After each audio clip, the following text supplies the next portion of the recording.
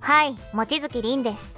今回は予備校業界で最難関と言われる寸大予備校の講師に当時最年少の25歳で合格し現在は大学受験専門塾など2つの会社の経営者をしている犬塚正史さんの書かれた頭のいい人の対人関係誰とでも対等な関係を築く交渉術を解説していきます。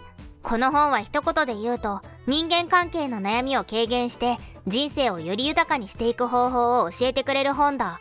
人間関係の悩みを軽減する方法か。ああお前は今良い人間関係を築けているか？人間関係か。正直あんまりいい状態ではないですね。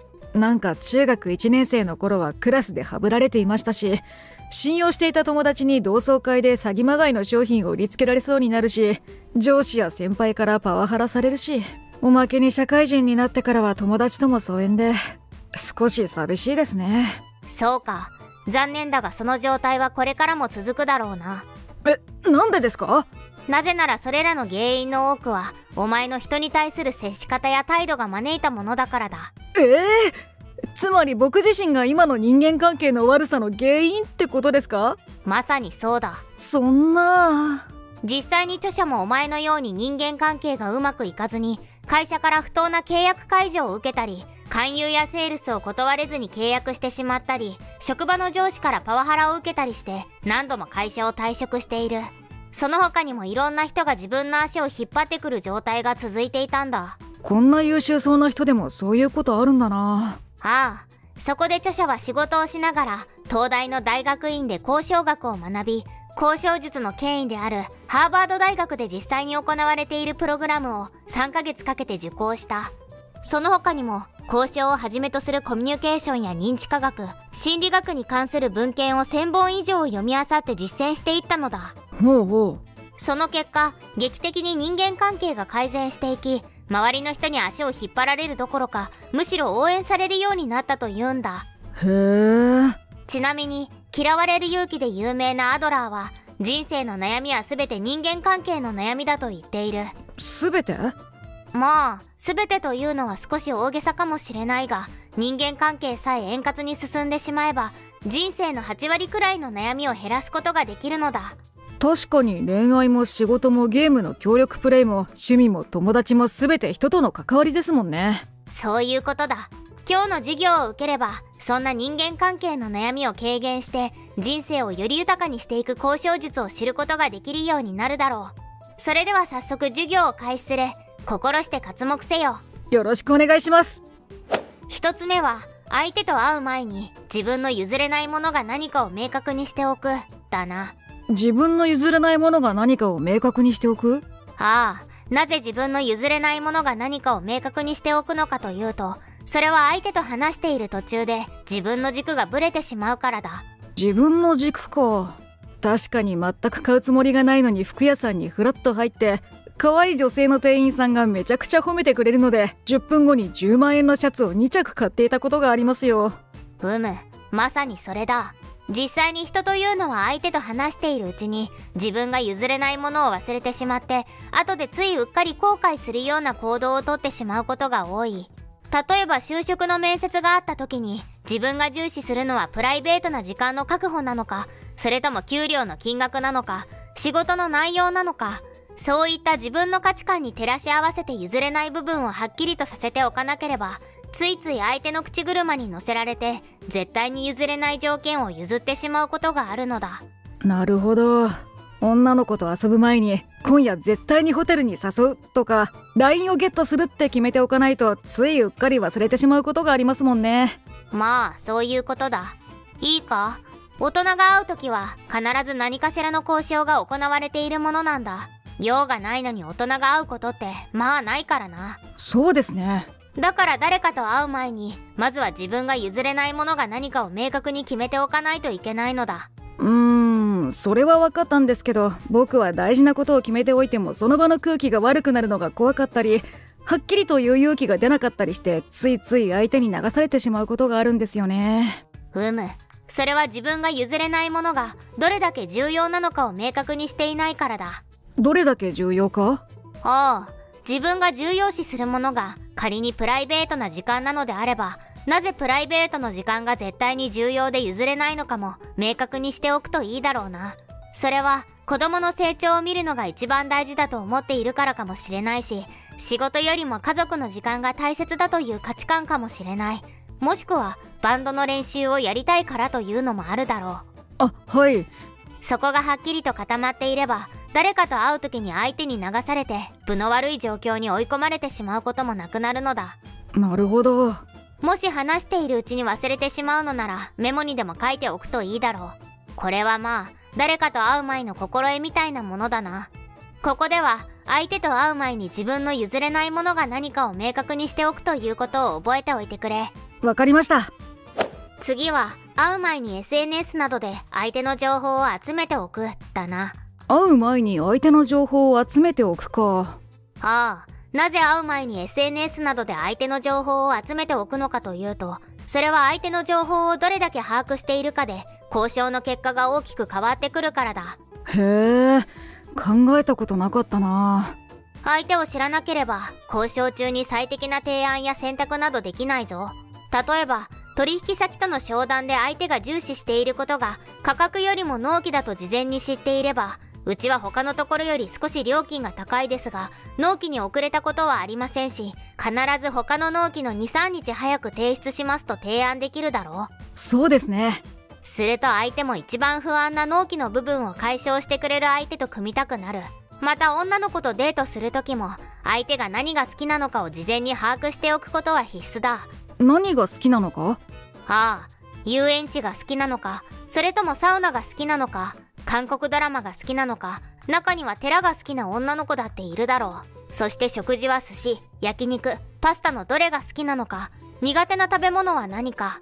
そういったことを把握しておかなければ最適なデートなどできないだろう。確かにそうですね。僕は昔初めて好きな女の子とデートをした時に何をすればいいのかがわからなかったのでまあどうせ女なんて雑貨屋さんが好きなんだろうって勝手に決めつけて雑貨屋さんに行ったんですけど全然盛り上がらなかったことがあります。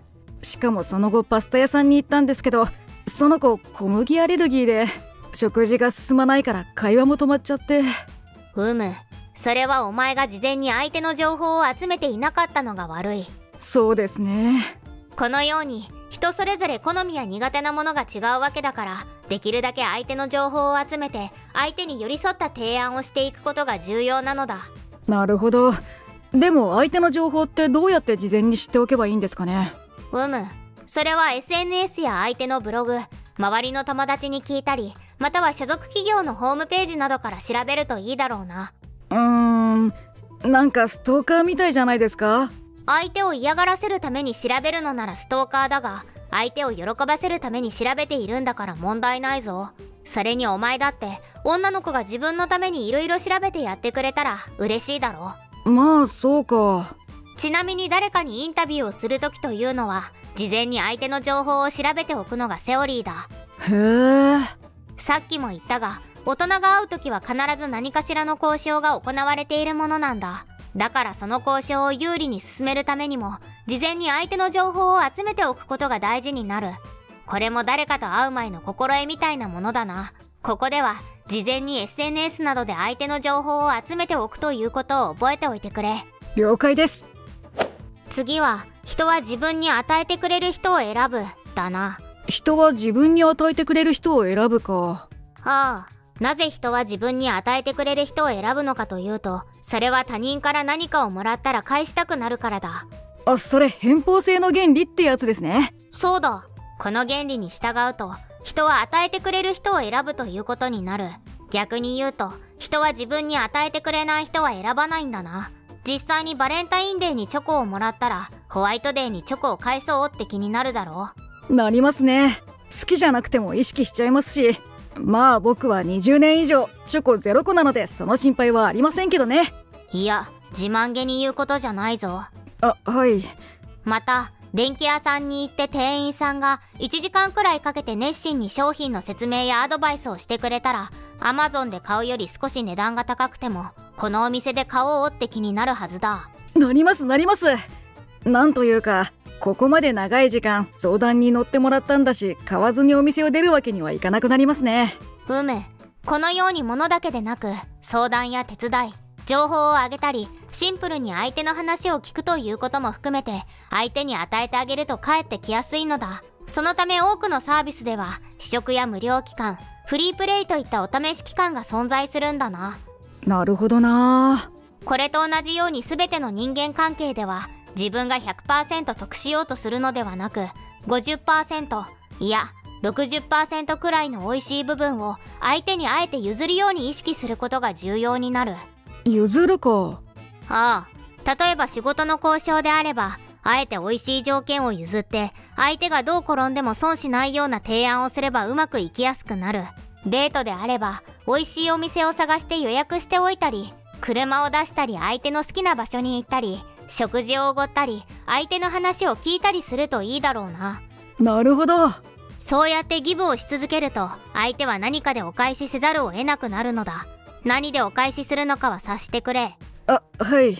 このように常に人と関わるときはウィンウィンの関係になるように条件を整えることが大事なんだな。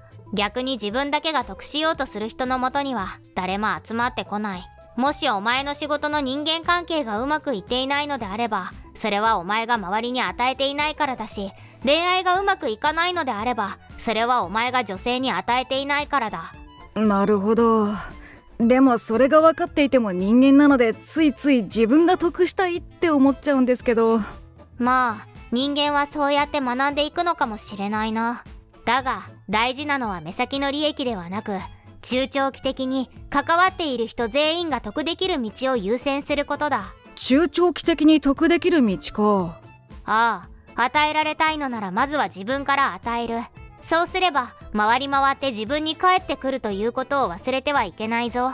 シンプルだけどこれは身につまされるな。これは絶対不変の法則だから覚えておくといいだろう。ここでは人は自分に与えてくれる人を選ぶということを覚えておいてくれ。次は人は損をするかもしれないことを避ける。だな。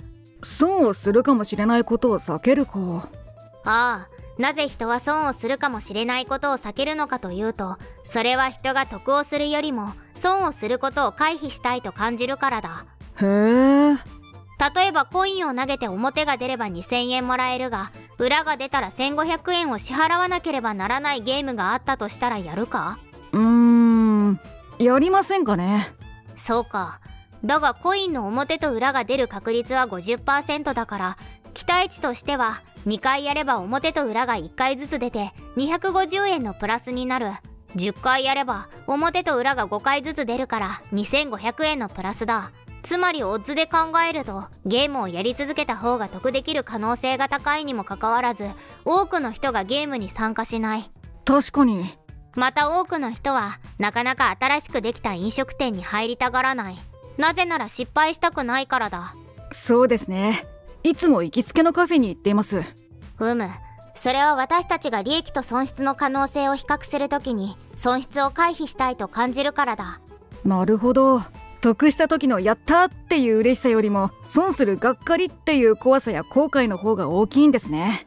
そういうことだ。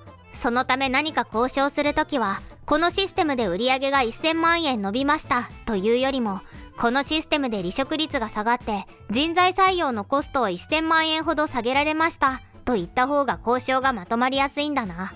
なるほど。恋愛だとどうですか？うむ。ここも基本は変わらない。相手が抱えている損をするかもしれないという不安を消し去る提案をすればいいんだ。つまり女の子と会う時はまず事前に職業働いている会社顔服装などの雰囲気がわかる写真をそれとなく見せておくことで変な人かもしれないというリスクを減らすことができる。さらにいきなり個室でのデートを提案せずにできるだけ多くの人がいるところでのデートを提案するといいだろう。なるほど。とにかく女の子の変な人だったらどうしよう。やべえやつが来たらすぐに帰りてえなといった不安を事前に解消してあげることが大事なんだな。そうすれば相手と会いやすくなるこのように人と交渉するときは得をさせるのも大事だがそれよりも損をさせないことが大事なのだ。ここでは人は損をするかもしれないことを避けるということを覚えておいてくれ。わかりました。次は初対面の人には自分の見せたいところだけを見せる。だな。自分の見せたいところだけを見せるか。ああなぜ初対面の人には自分の見せたいところだけを見せるのかというとそれは初対面の印象が強く記憶に残ってしまうからだな。ああ初対面で相手の印象が決まってしまうってやつですね。そうだ。実際に人は外見や職歴言葉遣いなどの細かい部分で相手の全てを判断しようとするんだ。例えば初対面の人がメガネをかけて高級なスーツにネクタイをしていたらあこの人は真面目そうとか頭が良さそうと思うだろうそうですね。だがもし初対面の人がスキンヘッドでサングラスをかけて袖口からタトゥーが出ていたら怖いなってなる。はい。この初対面での印象がその後も強く記憶に残ってしまうんだな。つまり初対面でこいつチャラいなって判断されたら2回目3回目でそのチャラい部分を直してもこいつは本当はチャラいやつっていう印象が残るってことか。そうだ。だから1回目のデートでダメだったら2回目はない。確かに。じゃあ仕事の交渉とかデートで良い印象を残したければ初対面に全力投球した方がいいってことですよね。そうだな。どうすればいいんですかね？まあこれは自分をどうアピールしたいかにもよるがほとんどの人は綺麗な服装や笑顔しっかりとした言葉遣いなどをしておいた方がいいだろうな。靴やスーツ言葉遣いなどが綺麗なだけで取引先の人からしっかりとした会社だと思ってもらいやすくなる。それが仮に勘違いだったとしてもだ。なるほど。初対面のデートで待ち合わせをする時もとにかく初対面はフル装備で行くといいだろう。じゃあ美容室に行って服を揃えて鼻毛を剃っていった方がいいんですね。もちろんだ。とにかく1回目にかけるのがいいんだここでは初対面の人には自分の見せたいところだけを見せるということを覚えておいてくれ。わかりました。次は相手がなかなか心を開いてくれない時は自分から情報を出すだな。自分から情報を出すか。ああなぜ相手がなかなか心を開いてくれない時は自分から情報を出すのかというとそれは相手の信頼を得ることができるからだ。ほう確かに住んでいる場所とか仕事とか過去を一切話さない人ってああ信頼されていないのかなって思いますもんね。そうだろう。とはいえペラペラと自分のことをただ話せばいいということでもない。え？それだとただのおしゃべりになってしまうからな。まあそうか。ポイントは相手が共感しそうなことと相手が知りたがっていそうな情報の2つのどちらかを言うことだ。でもどうやって？例えば相手の SNS などをリサーチして事前に相手の趣味がサウナだと分かっているのであれば自分も最近サウナにハマっているんですよね。何かおすすめの場所ってありますかと伝えることで共感が得られるはずだ。なるほど。仕事の交渉であれば事前に自分の過去の実績や仕事の進め方土日は電話には一切出ないことなどを自己開示しておくと主導権を握れるし相手も仕事をしやすくなる。このように相手がなかなか心を開いてくれない時は自分から情報を出すということを意識しておくといいだろう。了解です。次は相手に「はい」と答えさせる質問をあえてする。だな「はい」と答えさせる質問をあえてする？おう。なぜ相手に「はい」と答えさせる質問をあえてするのかというとそれは人は何度も相手と共感をすることで信頼関係を築くことができるからだ。信頼関係か。おう仕事も恋愛も全て相手との信頼関係がある方がやりやすいからな。でも「はい」っていうだけで信頼関係なんて築けますか？気づけるぞ。例えば「このパンケーキ美味しいね」とか「ちょっとずつ暖かくなってきたね」とか「チェーンソーマンのアニメ面白かったよね」という風に確実に相手がイエスと言ってしまうような質問を数回投げかけてそれに共感してもらうことで自分と相手は仲間だと感じるようになるんだ。ああ確かに僕はスマブラとかファイアーエムブレムが好きなんですけど同じようにスマブラやファイアーエムブレムが好きな友達がいると一気に距離が縮まりますもんね。そういうことだ。当然これをするとその場の空気も良くなる。これはコーヒーが好きとか寒いですねみたいな当たり障りのないことでも OK だ。へえ。でも相手が否定してくる場合はどうしたらいいんですか？つまりコーヒーが嫌いだったりチェーンソーマンのアニメが好きじゃなかった場合です。ふむそうならないように絶対に「はい」と言ってくれるような質問を数回投げかけるのがポイントだ。つまりコーヒーを飲んでいる人に「コーヒー好きなんですか?」と言えばいいしバッグにチェーンソーマンのグッズをつけている人に「チェーンソーマンのアニメ面白かったよね」と言うんだ。そういうことか。ああ冬は寒いから寒いねと言えばいいし夏は暑いから暑いねと言えばいい。美味しそうに食事を食べている時は美味しいねと言えばいいこのように答えを見てから100%相手がはいというような質問をするのがいいんだ。なるほどな。ということで相手にはいと答えさせる質問をあえてするということを覚えておいてくれ。了解です。次は言いづらいことは相手が満たされている時に交渉するだな。相手が満たされている時に交渉するか。ああなぜ相手が満たされている時に交渉するのかというとそれは人が満たされている時や快感を感じている時は説得されやすいからだな。えそうですかね。ああ実際に夜景を見て告白したりサプライズでプロポーズしたり会社が儲かっている時に給料の交渉をしたり食事をしながら取引先と交渉することって多いだろう。そういえばそうですね。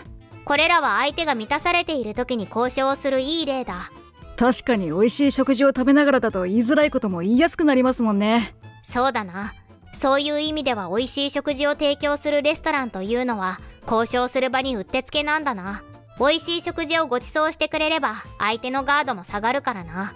そうですね。もし食事がまずかったら確かになんか交渉もうまくいかなそうですもんね。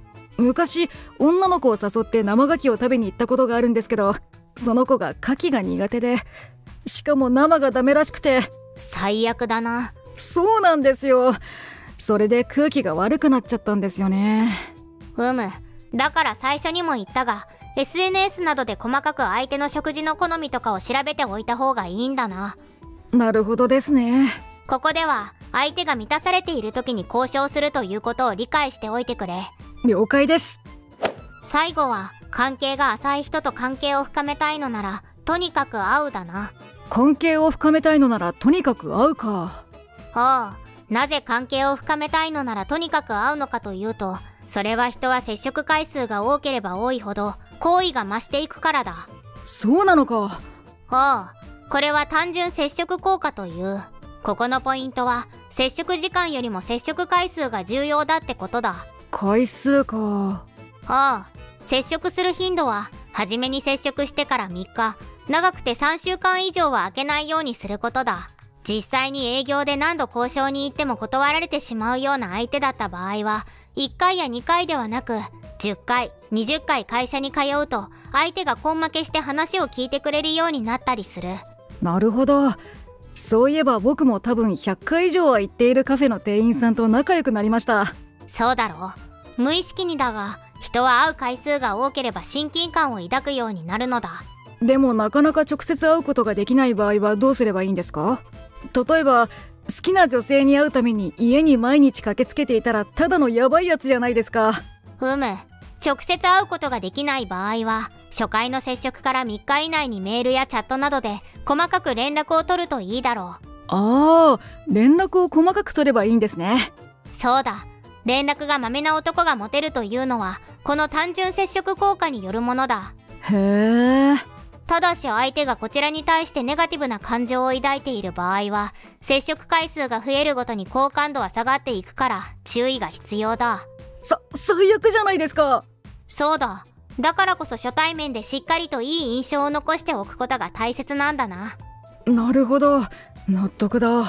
ここでは関係が浅い人と関係を深めたいのならとにかく会うということを覚えておいてくれ。わかりました。まとめだな相手と会う前に自分の譲れないものが何かを明確にしておく。会う前に SNS などで相手の情報を集めておく。人は自分に与えてくれる人を選ぶ。人は損をするかもしれないことを避ける。初対面の人には自分の見せたいところだけを見せる。相手の心を開きたい時は自分から情報を出す。相手に「はい」と答えさせる質問をあえてする。相手が満たされている時に交渉する。関係が浅い人と関係を深めたいのならとにかく会う。だな。特に気になった部分はあるか？そうですね。相手が満たされている時に交渉するってとこですかね。よくよく考えたら自分は相手の気分が悪い時とかに LINE の交換をお願いしたり給料のアップをお願いして失敗してきたような気がします。そうか。確かにそれは良くないな。やはり何か相手と交渉するのなら相手の気分がいい時を狙うのがベストだな。買い物でもやっぱり気分がいい時はいろいろと散財してしまうからな。確かにそうですね。そういう意味では人は気分に流されやすい生き物だから自分が何かを判断する時にはすぐに結論を出すのではなく時間を置いて冷静に考えてから結論を出すのがいいだろう。それでは今日の授業は終わりだな。ありがとうございました